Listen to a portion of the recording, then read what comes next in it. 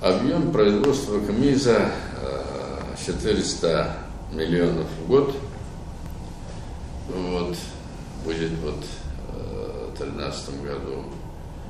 С тем количеством людей, сейчас работает на заводе минимальное количество людей, это где-то 450 человек, мы можем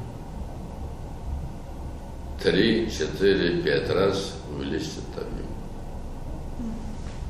Только нужен государственный заказ. В стране нужны наши инструменты. Только нужно, чтобы раз уже нас решает все один человек, президент, вот нужна его воля, его решение, что в этом деле навели порядок.